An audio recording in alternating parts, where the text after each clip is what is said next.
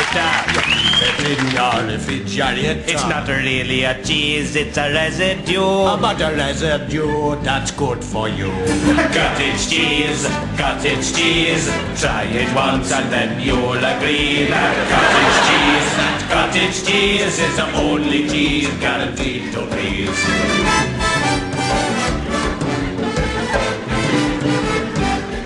It's only cheese lives in the tub. What about Dairylea? Yes, right, Gino. But I think it's only cheese that's pure and white. What about Wensleydale? Yes, or Cheddar Light. That's right. Cottage cheese, cottage cheese. Try it once and then you'll agree that cottage cheese, cottage cheese is the only cheese guaranteed to please.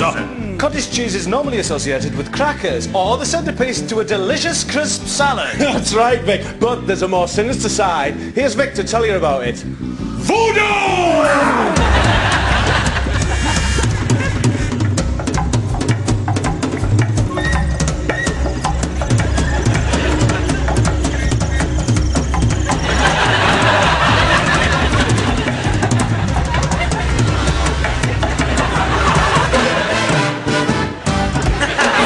Cottage cheese, cottage cheese.